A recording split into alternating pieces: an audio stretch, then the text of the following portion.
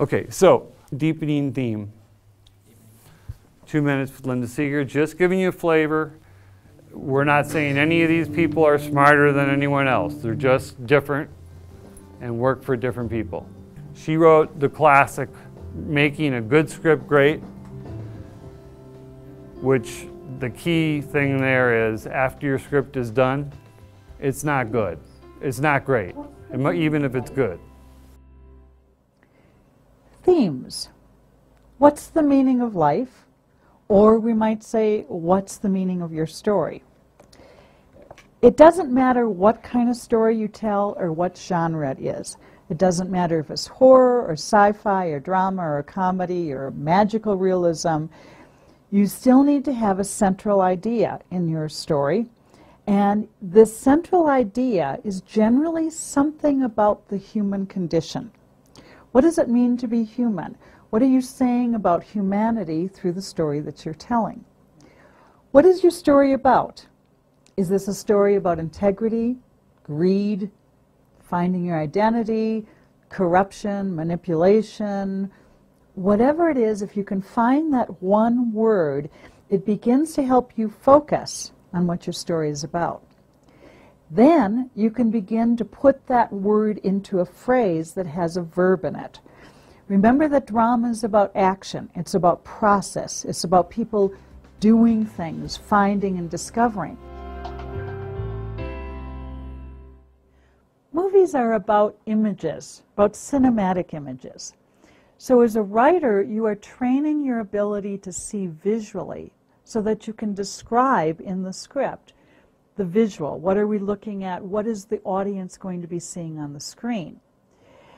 But the visuals that you see have to be carefully chosen. And the images are not just description, they go beyond it. Okay, now quick um, uh, Bob McKee was going to make his uh, point. How do writers unearth? How many of you guys are at that point where you're just, you're not sure, you don't know what story you want to tell yet, but you're trying to unearth it? How, and, and how do you unearth it? This goes back to the, that tapping, this is where tapping into these non-traditional things that have to do with story page, you know, plot point ones and before you get to midpoints, what are these archetypal energies that you're trying to, to express? The, and that will end up taking the form of character.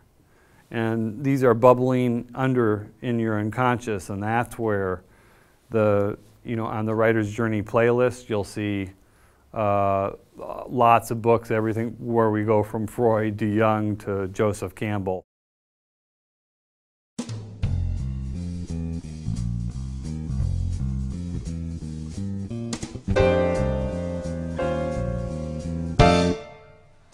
Uh, that question is so generalized. Um, unearth the stories that want to be told.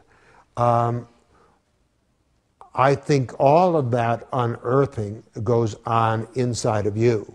It's not as if out there in the world there are stories actually buried in, in society, buried in, in the ground of life uh, that um, in some animated way want to, um, want to come up out of their graves and tell themselves. Uh, the, the stories that want to be told are in you. You are responding to your life and to the, your own inner life. And if you have talent, um, there are certain stories that might be inspired by something you see on the street, uh, a dream you have one night. It's very common um, a, something you read in a, in a newspaper, uh, something sparks the, um, the, the, genius and the talent of the writer. Uh, characters begin to materialize and story gets to be told. And, and it, there's, in that sense, uh, that it comes from within you. There, um, there's an old um, expression in writing that, that I believe in that in a very real way, uh, the stories are already written in you. Your problem as a writer is to get out of their way.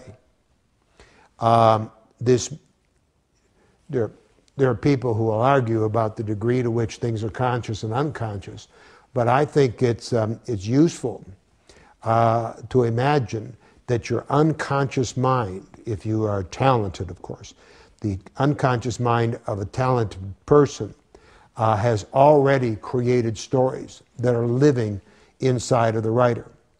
The writer then these has to be inspired. These stories then find their way out of the writer and into the writer's uh, work. And that, in a very real way, stories want to be told, uh, but they, um, the stories are already in the, the, the, the mind of a talented writer. Uh, and, um, and the writer's job then is to, to somehow let these stories come to life.